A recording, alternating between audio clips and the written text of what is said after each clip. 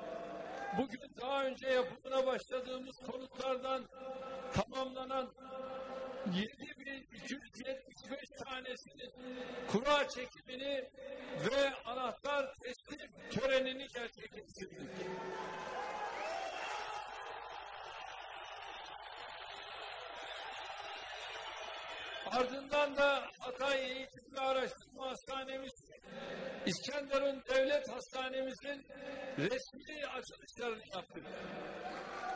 Hastanelerimizin Hataylı vatandaşlarımıza hayırlı uğurlu olmasını diliyorum. Gördüğünüz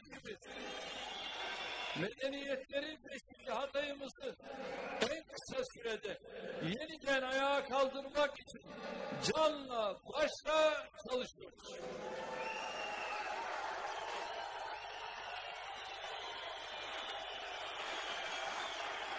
İnşallah deprem bölgesindeki 390 bin hak sahibi vatandaşımızın sonuncu da evinin anahtarını alana kadar çalışmalarımızı sürdüreceğiz.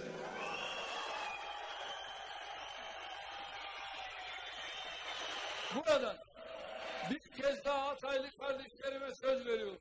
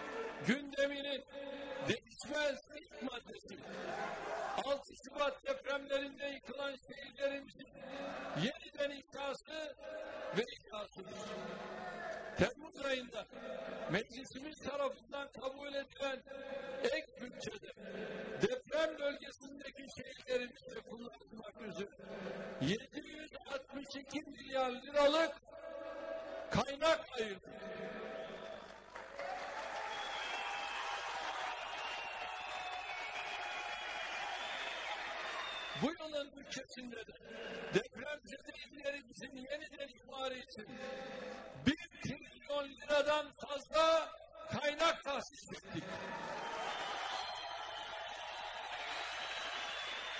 Depremde en fazla zarar gören sayımız elbette ayrılan bu kaynaktan hak ettiği payı aldı, almaya da devam edecek.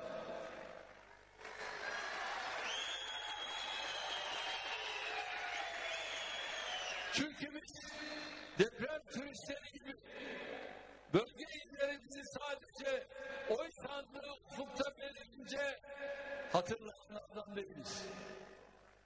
Biz depremlerde kardeşlerimizi oy tercihlerine göre ayıran, oy rengine göre hizmete ve hizmete layık görenlerden de değiliz.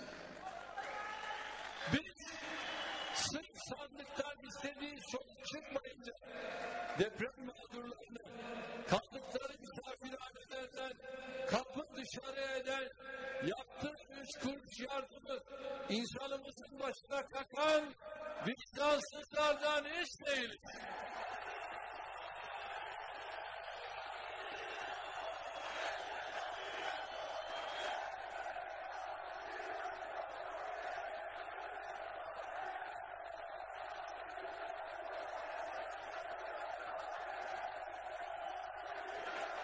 Biz depremzede kardeşlerimizin dertleriyle gerçekten dertlenen, bunların çözülmesi için samimiyetle çaba harcayan bir yönetimiz. Biz hiçbir zaman ayrım yapmadan tüm fertleriyle milletimizin refahı, esenliği ve geleceği için ter döken bir ittifakız. İnşallah bundan sonra da yolumuza aynen bu şekilde devam edeceğiz. Kimsesizlerin kimsesi olacağız.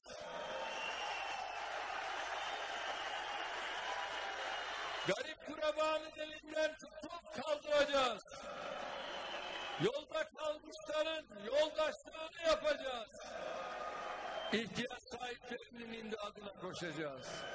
Hiçbir insanımızı aç açıkta bırakmama düsturuyla gecemizi gündüzümüze katacağız. Rabbim yükümüzü hafifletsin, işlerimizi kolaylaştırsın.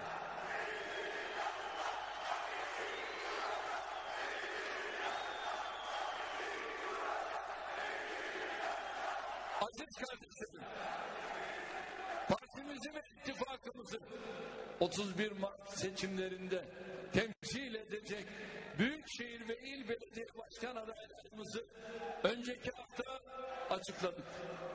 Hatay Büyükşehir'de Cumhur İttifakı adayı olarak Mehmet Öntürk kardeşimizi kamuoyumuzda paylaştık.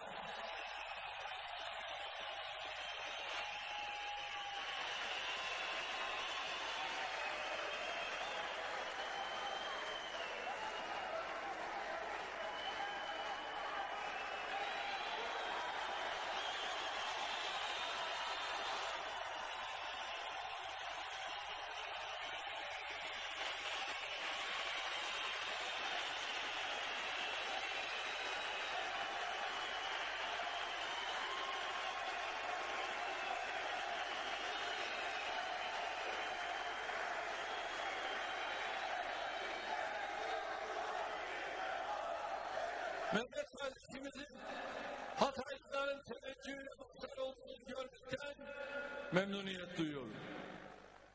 Hatay kamu yatırımlarını noksansız olsa da maalesef yereldeki vizyon eksikliği nedeniyle potansiyelini açığa çıkarmakta zorlanan bir şehrimiz.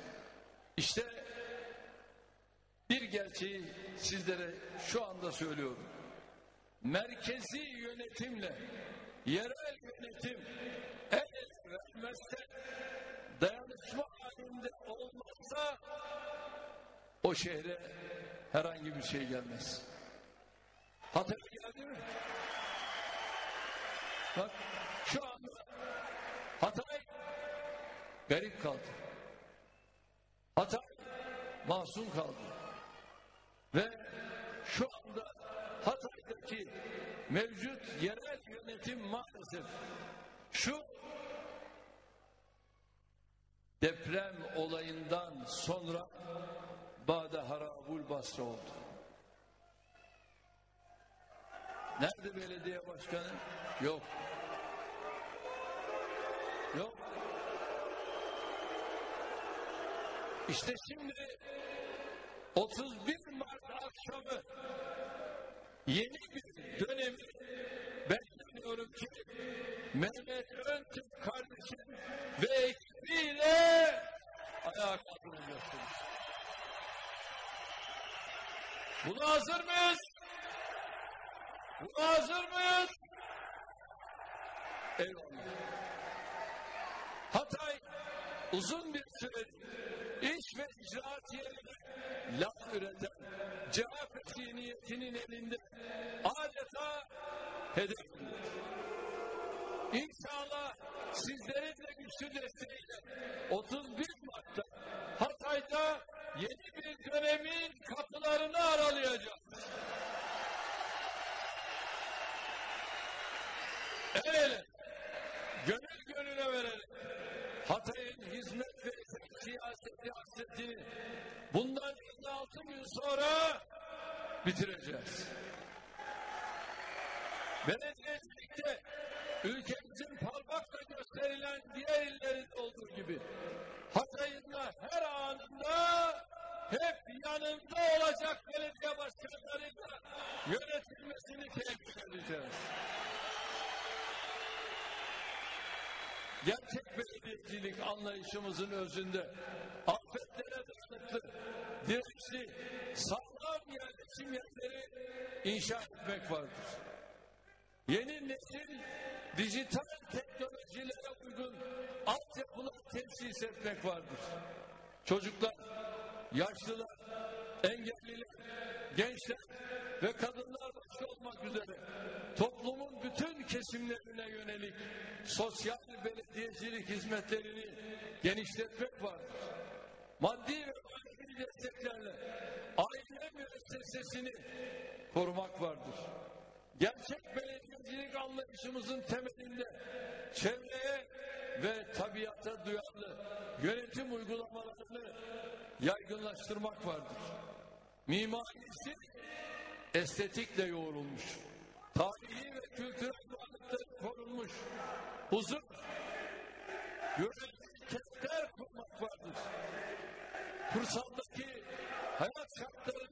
yükseltip insanımızın doğup büyüdüğü yerde kalmasını teşvik etmek vardır.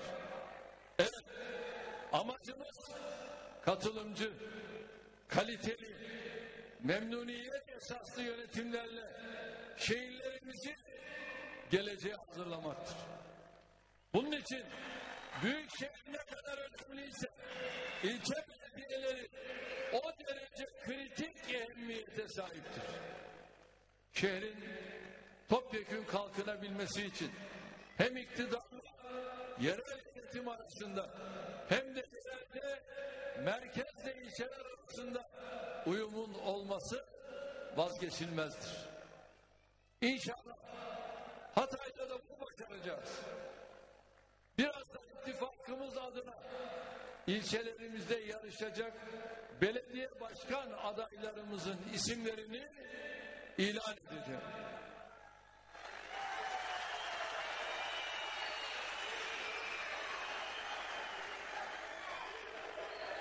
İlçe adaylarımızın tespitiyle birlikte Hatay'da Büyükşehir başta olmak üzere mümkün olan en fazla sayıda belediyeyi ittifakımıza kazandırmak için çalışmalarımızı yoğunlaştıracağız. Gerçek belediyeciliğin miladı olacak 31 Mart'ta Hatay'ın yeni bir başlangıç yapacağına, yelken atacağına ben yürekten inanıyorum.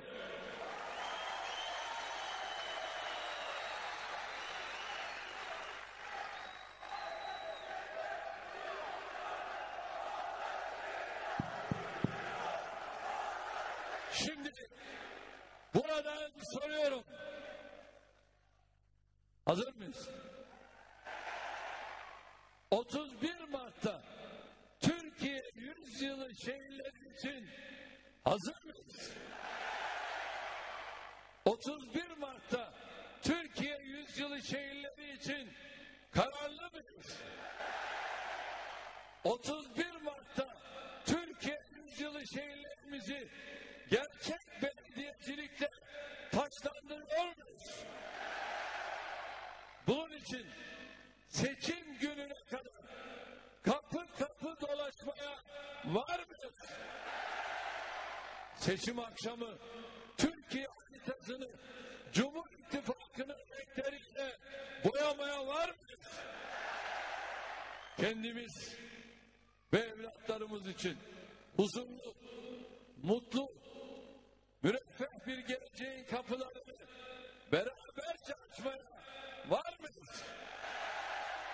Büyük ve güçlü Türkiye vizyonumuza sıkı sıkıya sahip çıkmaya var mıyız? Maşallah. Maşallah. Elbette bunun için hep birlikte çalışacağız.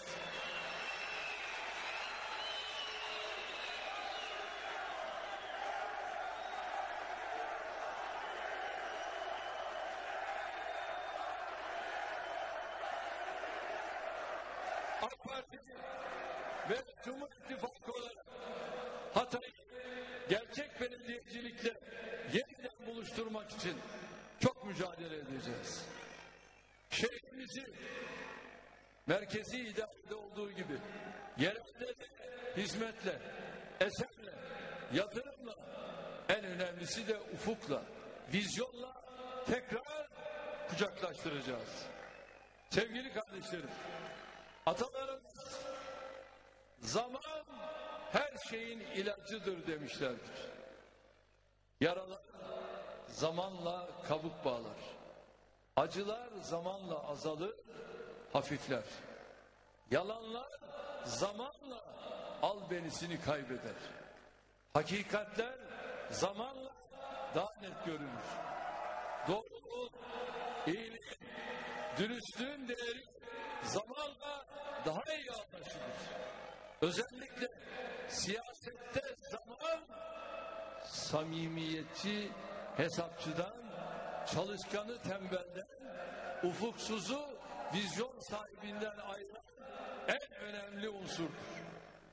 Biz 40 yılı aşan siyasi hayatımızda bu gerçeğe defalarca şahitlik ettik. Millete umut diye pazarlanan nice proje siyasi şahsiyetin, nice proje siyasi oluşumun zamanla yok olup gittiğini gördük. Bunun en son örneğini Cumhur İttifakı'nın karşısına dikilen derme çatma yapıydı. Daha düne kadar anlanıp pullanarak millete yaratılan altılı masa denilen siyaset mühendisliği ürünü projenin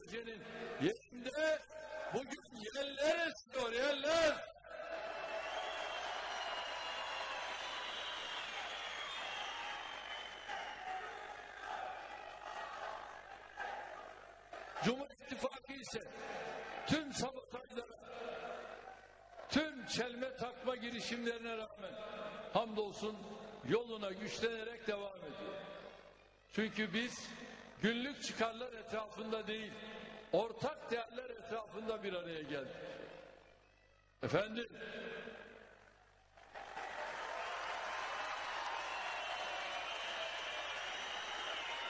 şunu bir kez daha açık ve net ifade etmek isterim.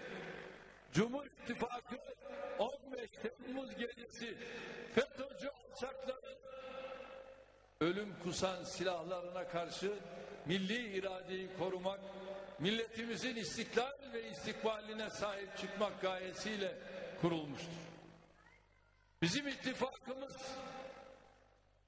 tek millet, tek bayrak, tek vatan, tek devlet ilkesi etrafında güçlerini birleştirenlerin ittifakıdır. Bizde küçük hesaplar olmaz. Bizde kendi çıkarını ülkenin menfaatinin üstünde görmek gafleti olmaz. Bizde bölücü örgütün güdümünde siyaset yapanlarla demlenmek olmaz. Bizde siyasi kariyeri için tüm ilkelerini tezgaha koyan işportacı siyaset anlayışı asla ve asla olmaz. Bizim için asıl olan Türkiye ve Türk milletinin esenliği, huzuru ve bekasıdır. Bizim için asıl olan şehirlerimizin hak ettiği hizmetlere kavuşmasıdır. Bizim için asıl olan her bir vatandaşımızın kendini güvende hissetmesidir. Bu uğurda verdiğimiz ve başarıya ulaştırdığımız her mücadeleyi şeref payemiz olarak görüyoruz. Sevgili kardeşlerim, böyle bir hassasiyeti olmayanların durumunu sizler de takip ediyorsunuz. Siyaseti millet için değil de kendi ikballeri için yapanların işler acısı hali ortadadır. Daha sekiz ay öncesine kadar yedikleri içtikleri ayrı gitmiyor. Halil İbrahim sofrasından bahsediyorlardı. Bugün bakıyorsunuz hepsi de birbirine düşman kesildiler. Daha sekiz ay öncesine kadar Türkiye'yi birlikte yönetmekten, ülkeye güya gerçek demokrasiyi getirmekten söz ediyorlardı. Bugün birbirlerinin seçim afişlerine dahi tahammül edemiyorlar. Daha düne kadar 13. Cumhurbaşkanımız diye adeta pamuklara sardıkları adayı bugün Ankara'da bir ofisin dört duvarı arasına hapsettiler.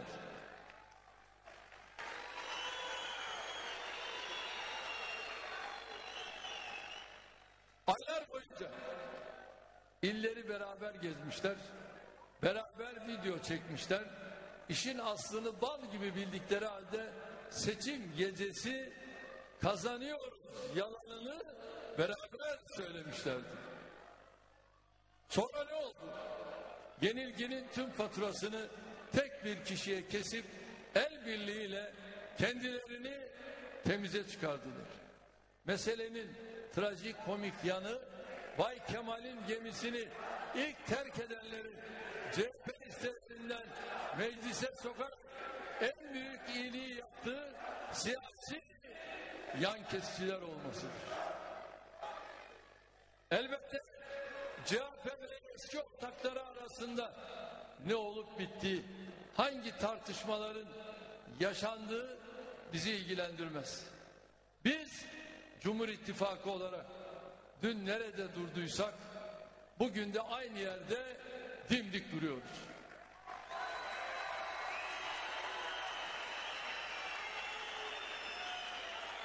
Biz dün neyi savunuyorsak bugün de aynı değerlerin savunuculuğunu yapıyoruz. Biz Türk siyasetinin böyle bir duruma düşürülmesine üzülüyoruz. Beklentilerine cevap bulamayan muhalif seçmen de siyaset kurumuna karşı bir güvensizlik oluşuyor. Bundan da en büyük zararı demokrasimiz görüyor. Böyle bir tabloya seyirci kalamayız. Cumhur İttifakı olarak kendilerini muhalif sıfatıyla tanımlayan kardeşlerimize de ulaşmak, onların da siyasi taleplerine çözüm üretmek, onlara da umut vermek, cesaret aşılamak mecburiyetindeyiz. Başkaları ne yaparsa yapsın. Bizim yolumuz kardeşlik yoludur. Muhabbet yoludur. 85 milyon birlik ve birlikli sağlıklı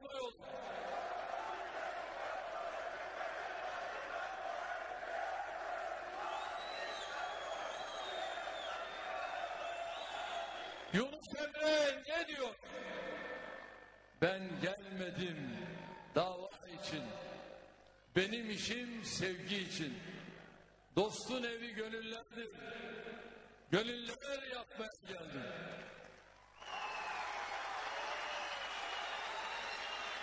Evet, biz de gönül diliyle konuşacak, gönüllere dokunacak, kalpleri fethetmeye çalışacağız.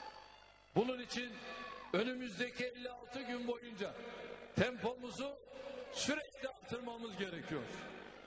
Ara kademe 56 gün durmadan, usanmadan çalışmaya var mıyız? Kadın kolları durmadan, usanmadan çalışmaya var mıyız? Gençler durmadan, usanmadan çalışmaya var mıyız?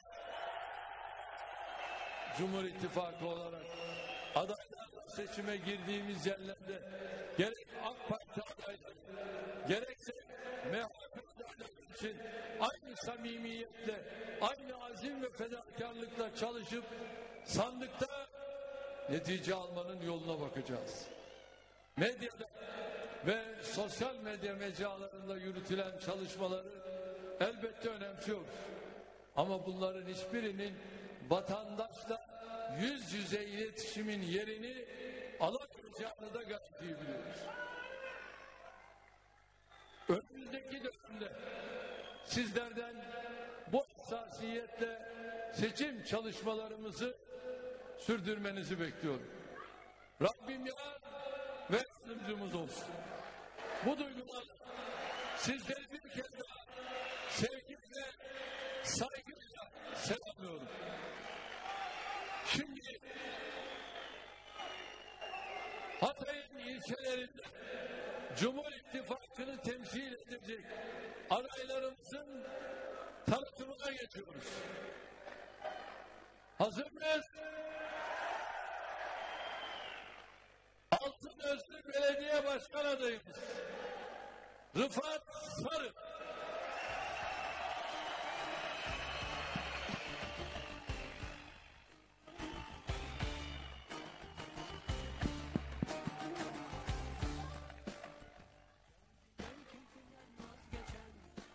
Altın Özlü Rıfat Sarı. Antakya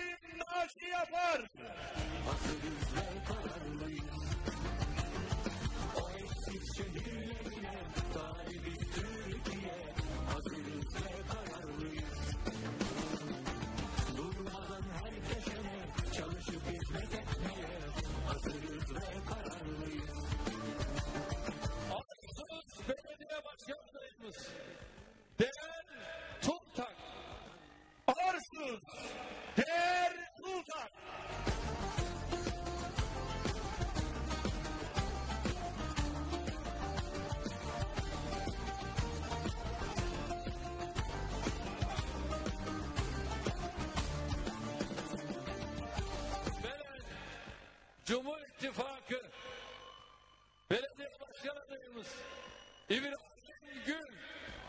Belen İbrahim Gül.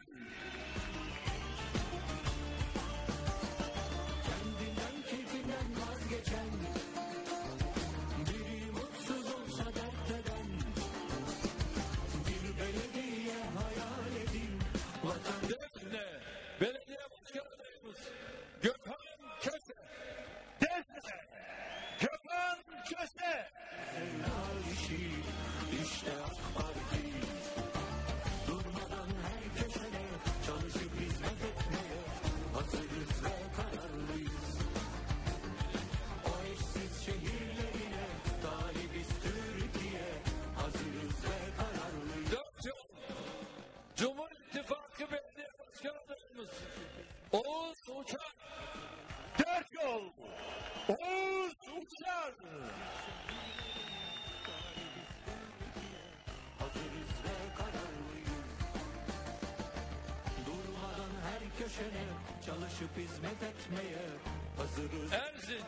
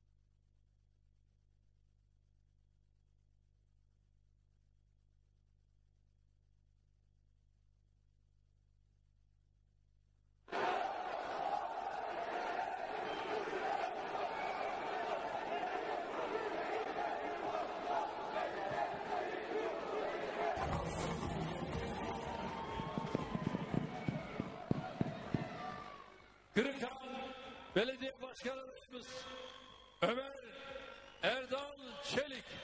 Kırıkhan!